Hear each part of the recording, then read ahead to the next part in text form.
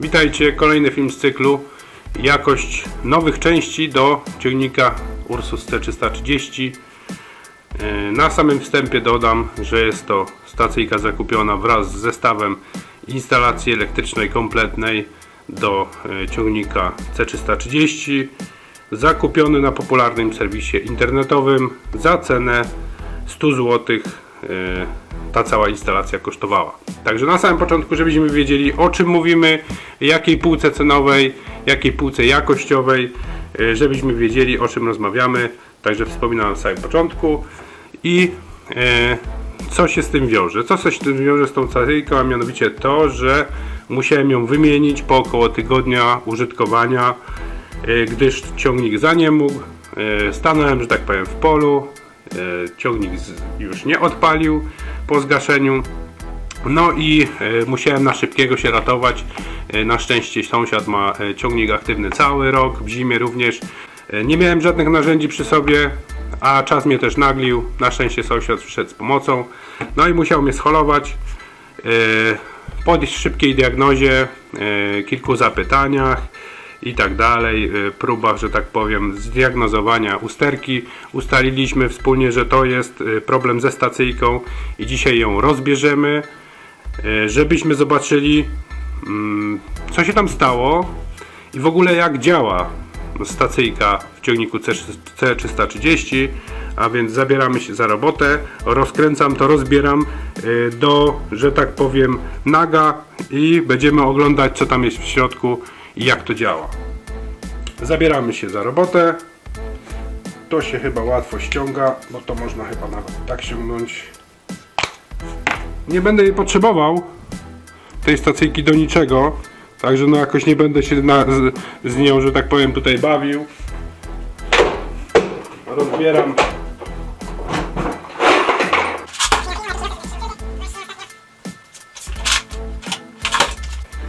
Jedziemy. Tutaj jest śrubokręt, widzę, śrubka krzyżakowa. Odkręca się dosyć łatwo. No, tu mamy te piny, w które wpięte są po prostu poszczególne przewody.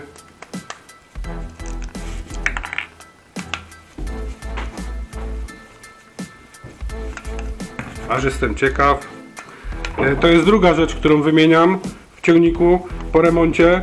E, Pierwszy poleciał, na pierwszy rzut poleciał kranik paliwa, który od razu zaczął cieknąć. Musiałem go wymienić, kupiłem nowy za około 27 zł. No i, i sprawuje się bardzo dobrze w porównaniu do tego, co założyłem wcześniej. E, Tutaj założyłem e, stacyjkę starą, ze starej instalacji wyciągłem i działa. Tu jest zagięte, zaprasowane lekko. I tu jest zaprasowane lekko, widzę. Więc spróbujemy to odgiąć czymś. Nie będziemy się jakoś cackać. Okulary sobie założę.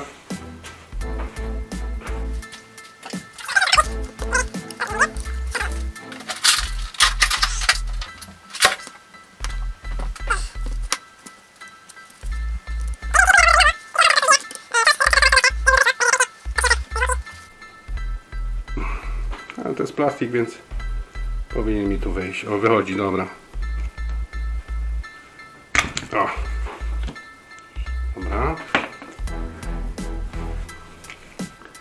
Po rozebraniu ukazuje nam się coś takiego.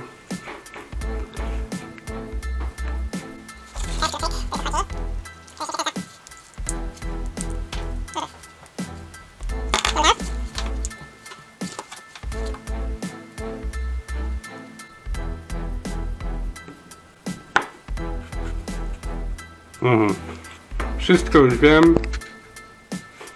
Wszystko już wiemy. E, problem leży, już mówię w czym. Wkłada się kluczyk tak. On wchodzi, e, przechodzi przez to i wchodzi tutaj, tak? Wchodzi tu i powoduje rozwarcie tutaj tych blaszek, które powinny dojść dotąd i zro zrobić jakiś tam styk, tak? A problem e, pojawił się taki, że tu jest plastik na tym e, na tych blaszkach plastik, który się stopił, widać widać, że jest stopiony. Nie wiem, czy to widać na kamerze, w każdym bądź razie uwierzcie mi na słowo, że ten plastik w ogóle jest przesunięty. Widać, że ten plastik jest niesymetryczny do tego plastika. Yy, Z tego powodu właśnie, że się stopił i przesunął, się obniżył yy, w stosunku do tego, a więc to rozwarcie już nie następuje. Nie następuje tutaj ten styk tych blaszek i w ten sposób yy, nie ma połączenia w instalacji. Yy, Taka oto jakość nowych części, e, że ten plastik no, jest po prostu zbyt e, ma- materiałem uległym na temperaturę, bo to jednak mamy e, połączenie elektryczne, jakiś tam amperaż, no i stało się to, co się stało. Tak to działa. Jeszcze popatrzmy, jak to pracuje. Co my tu mamy? Tu jeszcze jest taki styk, że tak powiem. Ta blaszka się obraca po tych łączach i powstaje i zamyka obieg. Przesuwając. Tak, dokładnie. Tutaj ten plastik wchodzi te, w te tryb, w, ten tryb właściwie plastiku wchodzi tutaj w ten y, w tą formę i przesuwa, obraca tą blaszkę i powstają układy. Zamykają się odpowiednie układy, przekręcając kluczyk. E, tutaj jak jeszcze to działa, zobaczcie, spójrzcie.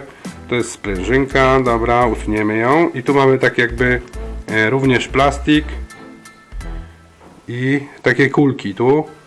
I się to przesuwa po prostu po, po takiej formie jakby e, nakrętki, tak? Nakrętki. Raz, dwa, trzy, 4, 5, 6, 7, 8 ośmiokątnej przesuwa się i w ten sposób się ustawia na danej pozycji. O, cyk, przestawiamy, przekręcamy kluczyk. No teraz już to nie jest skręcone ciasno, więc mi to będzie wyskakiwać. W każdym bądź razie, no tak to działa, że to się, o, cyk, przeskakuje z pozycji na pozycję. W ten sposób blokując właśnie pozycję kluczyka. Czy to jest dobre rozwiązanie, czy nie?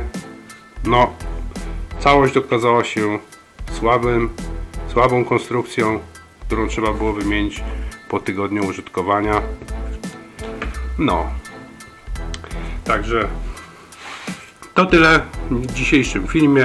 Zobaczyliśmy jak wygląda stacyjka i w jaki sposób działa i jakich stacyjek unikać. Dzięki, do następnego.